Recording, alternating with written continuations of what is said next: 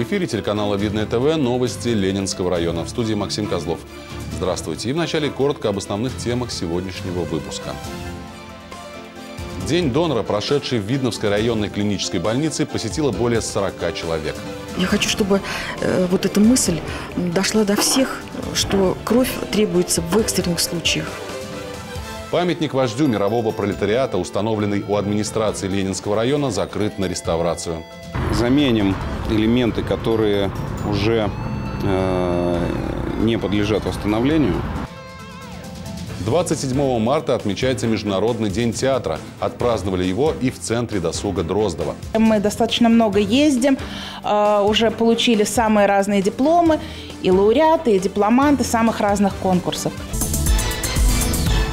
В Видновской районной клинической больнице прошел ставший уже традиционным День донора. Более 40 человек пришли в конференц-зал медицинского учреждения, где разместилась выездная бригада Московской областной станции переливания крови. С донорами побеседовала наша съемочная группа. Перед сдачей крови необходимо заполнить несколько бланков и сдать экспресс-анализ. Ввиду того, что желающих много, на все уходит порядка 20 минут вместо 10 обычных. Кто-то из этих людей начал сдавать кровь по зову сердца, а кого-то вдохновил пример другого донора. Так получилось, что в жизни у меня появился человек Сергей Сидоренко, который э, просто рассказал мне, чем он живет. Он почетный донор России. И я подумала, а если такой человек, который живет видно, может это делать, почему не могу делать я? И вот сейчас, на протяжении двух лет, я прихожу сюда и, мне кажется, спасаю чью-то жизнь. Желающие принять участие в Дне донора должны придерживаться определенных правил. Накануне легкий ужин, а в день сдачи крови небольшой завтрак. За 48 часов исключить спиртные напитки. Многие приходят сюда инкогнито из скромности. Но бывают и другие случаи. Юлии Евсеевой сдавать кровь не разрешает муж, хотя среди его родственников были доноры. Считает, что это очень вредно. Почему? Ну, почему-то боится, что упадет резкий гемоглобин, и я буду плохо себя чувствовать, не разрешает. Это, в общем-то, не так уж и вредно а для организма, даже наоборот. Полностью согласна с этим. И есть пример а, бабушки моего мужа, которая была почетным донором СССР умерла в 92 года. В начале 2018 года отделение переливания крови в Видновской больнице реформировали, и теперь это всего лишь кабинет. Здесь выполняют только распределительные функции, а работу с донорами осуществляет выездная бригада Московской областной станции переливания крови. Прошлом году День донора также проходил 27 марта. Тогда 36 человек изъявили желание сдать кровь. У четырех из них были выявлены противопоказания к процедуре. Остальные 32 человека сдали каждый по 450 мл крови. И это десятки спасенных жизней. В этом году желающих принять участие в Дне донора оказалось больше. Всего пришло 43 человека, сдали кровь 36. Семерым по состоянию здоровья было отказано. Врачи отмечают, что многие руководители, особенно в коммерческих организациях, не отпускают работников на сдачу крови, чтобы не предоставлять два дня отгулов, положенных по закону. Люди не совсем понимают. Э, бывает так, что когда человек вот с этим сталкивается, некоторые работодатели, которым приходилось помогать своим родственникам, и когда они столкнулись с проблемой крови, вот тогда они стали понимать и отпускать своих сотрудников. Вот я хочу, чтобы э, вот эта мысль дошла до всех, что кровь требуется в экстренных случаях. Медики напоминают, мужчины могут сдавать кровь не более пяти раз в год, женщины не более четырех. Следующий приезд видная бригада Московской областной станции переливания крови состоится 30 мая. Максим Козлов, Николай Карбанов, Сергей Ларин. Видное ТВ. Памятник вождю мирового пролетариата, установленного у администрации Ленинского района, отправили на реставрацию. Однако Владимир Ильич никуда для этого не уехал. Работы начались на месте, а вокруг его монументальной фигуры вырос целый шатер. Подрядчик сделал это по этическим соображениям это все-таки Владимир Ильич Ленин, да, как бы мы там к нему не относились, и нужно уважительно относиться к тому, что мы будем его разбирать, да, и заново собирать. Поэтому решили закрыть такой глухой стеной. Памятник Ленину давно требует реставрации, и после обновления он должен заметно преобразиться. Заменим элементы, которые уже э, не подлежат восстановлению, элементы скульптуры.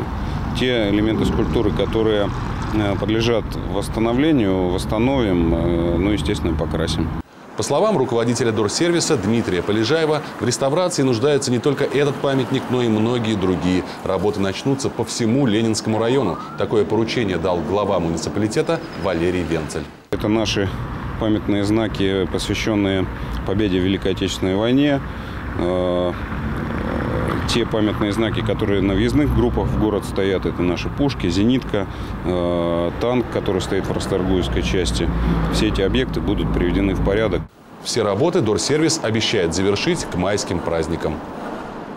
Недетскую дату отметила Центральная районная детская библиотека. Сегодня это не просто место, куда можно прийти за необходимой книжкой. Здесь проводятся мероприятия для ребят разного возраста. Хотя и главное предназначение библиотеки – приобщение к чтению – остается неизменным. Екатерина Борисова побывала в гостях у сотрудников учреждения и познакомилась с их работой поближе. 22 марта Центральной детской библиотеке исполнилось 60 лет. Все эти годы маленькие читатели приходили сюда за книгами, знаниями и хорошим настроением. Вот и сегодня воспитанники детского сада «Рябинка» пришли в библиотеку, чтобы совершить виртуальную экскурсию в Дымково и Вятку и познакомиться с традиционными народными промыслами этих мест. Долгими вечерами что они делали? Делали игрушки, запекали обжигали их в печи, и по вечерам зимой дым шел из печи, да, и деревню прозвали Дымково. Ребята раскрасили эскиз дымковской игрушки, поучаствовали в викторине, посмотрели презентацию и обучающий мультфильм. Такие занятия у дошколят проходят раз в неделю, и они уже привыкли совершать виртуальные путешествия в разные города и деревни нашей страны. Я думаю, что это очень познавательно, это очень полезно детям знать э, не только свой город, где они родились и выросли, где живут там бабушки, дедушки, да, и где они там отдыхали летом, но и другие города, которые более-менее значимые в нашей стране. Дети на такие занятия приходят с радостью и с удовольствием впитывают новые знания. Что ты сегодня узнал на занятии? О городе Ту, ой, Пяткин и, и городок Дымково как делать гли... расписывать глиняные игрушки. Часто вообще ты приходишь вот в библиотеку на такие занятия? Да, прихожу всегда. Ну и вот что тебе больше всего нравится делать в библиотеке? Слушать учителя. Впрочем, начиналась история Центральной детской библиотеки на улице Школьной, где она располагалась в подвальном помещении. Потом переехала по адресу ПЛК-18, где занимала две квартиры на первом этаже. И только в 80-м году обрела свой окончательный дом, въехав вместе со взрослой библиотекой в только что отстроенное здание. Сейчас здесь около 4 тысяч читателей. В день библиотеку посещает около 50 человек. Приходят как за книгами, так и на многочисленные познавательные мероприятия. Работаем мы э, с детскими садами. Вот у нас сейчас новая программа «Сказочная Лукоморье на карте России». Работаем со школами. У нас сейчас замечательный проект есть, международный проект «Ты плюс я равняется друзья». Это четвертая школа, четвертый Б-класс. Э, общается с ребятами из города Минска. В эту пятницу библиотека в 14 раз подведет итоги ежегодного конкурса «Самый читающий класс». В будние и выходные здесь работает множество кружков и секций. Особой популярностью пользуются мастер-классы и занятия в научно-опытной лаборатории «Всезнайка». Много разных мероприятий посещаем, которые происходят в библиотеке. Дети приходят на викторины, конкурсы. Э, мы как родители сопровождаем, нам тоже очень нравится. Но главное, ради чего приходят сюда, это, конечно же, книги. Кстати, узнать, есть ли в библиотеке интересующая книжка, можно просто заглянув на сайт. В детской библиотеке есть настоящая книжная больница, где маленькие посетители могут подлатать старые книги, а также интересная фотозона для любителей селфи. Кстати, эту лавочку сделали сами сотрудники библиотеки. Словом, сегодня Центральная детская библиотека – это не просто хранилище книг, это информационный центр, выставочный зал, площадка для проведения занятий, интересных встреч и мастер-классов. Екатерина Борисова, Николай Карбанов, Ольга Садовская, Видное ТВ. Куклы-обереги, хоть и являются достоянием прошлого, в наши дни вновь обретают популярность. В Расторгуевской библиотеке специально для психоневрологического интерната «Островский» провели мастер-класс по изготовлению тканевых амулетов, а также рассказали о разновидностях и истории их создания. Наш корреспондент Анастасия Воронина познакомилась с этим интересным видом рукоделия и узнала, как сделать оберег своими руками.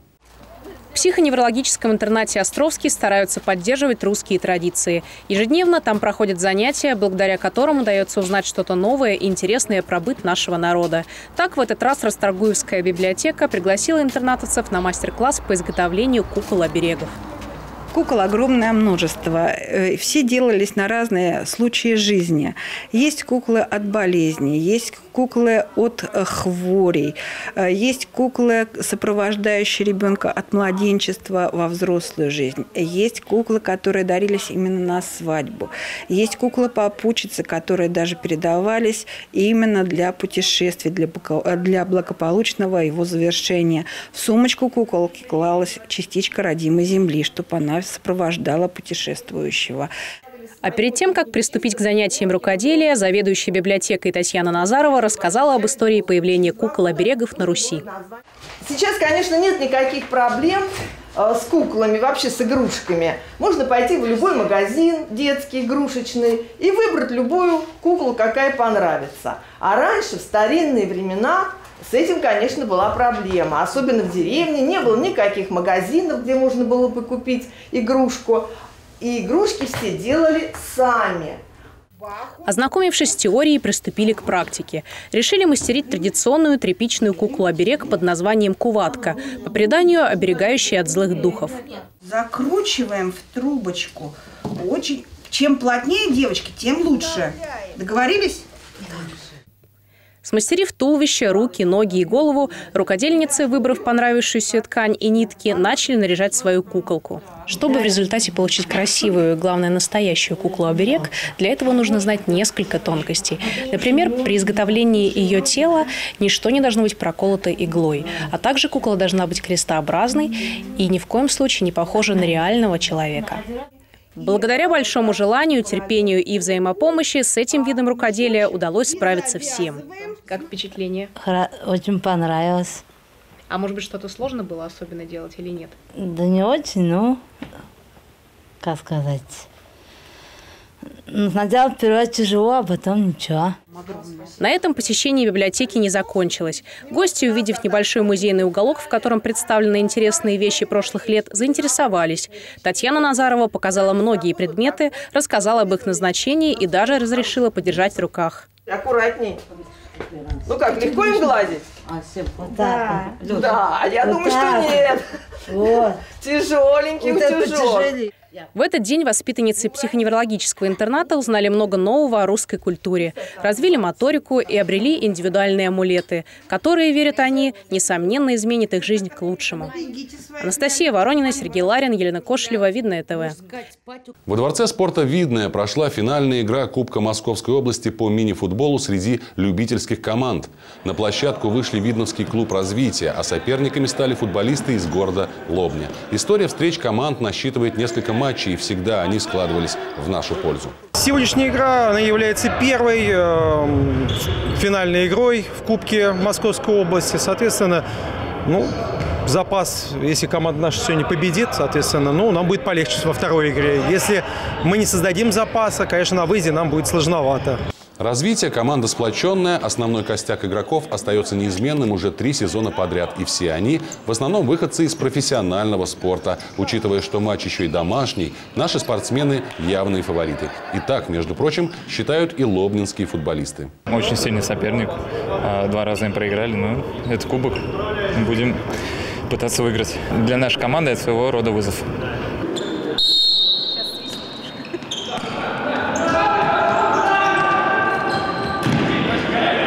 Первых же мгновений матча завязалась яркая и азартная игра на высоких скоростях. Спортсмены демонстрировали свои лучшие качества и бойцовский характер. И уже совсем скоро видновчане отправили в ворота соперника первый гол.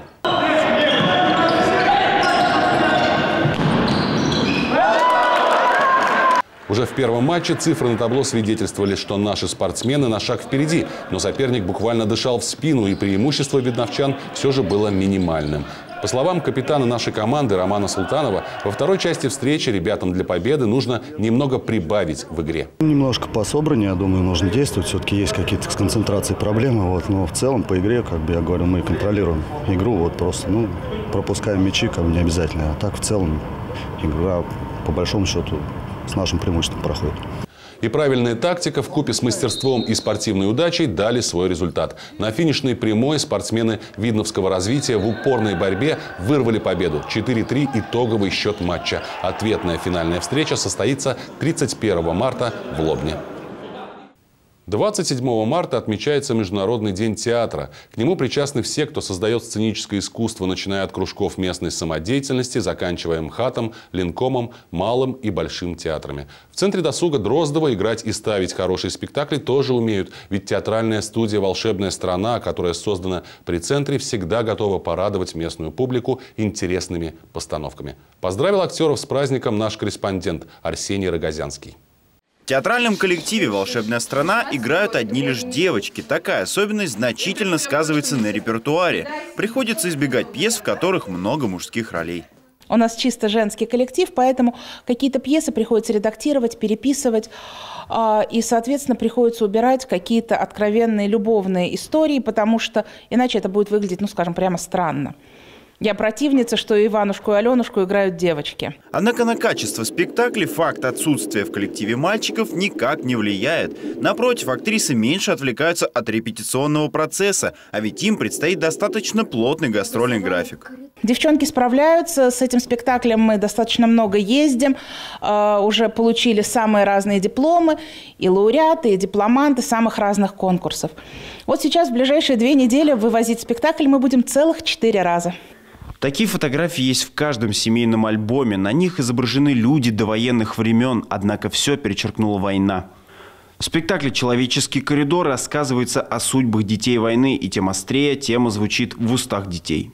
Пьеса отнюдь не девичья, но со сцены юные актрисы четко передают переживания людей, заставших войну.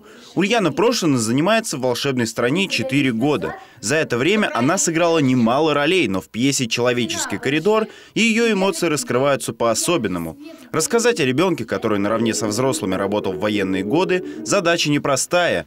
Девочка рассказала, как проходит подготовка коллектива к волнительным выступлениям естественно, артикуляционная гимнастика. И у меня конкретно нету ритуала, но мы все вместе всегда собираемся, делаем так называемые ручки, ладошки. Мы собираемся вместе руки, потом раз, два, три, у, -у. и мне кажется, нам это помогает расслабиться и почувствовать себя увереннее.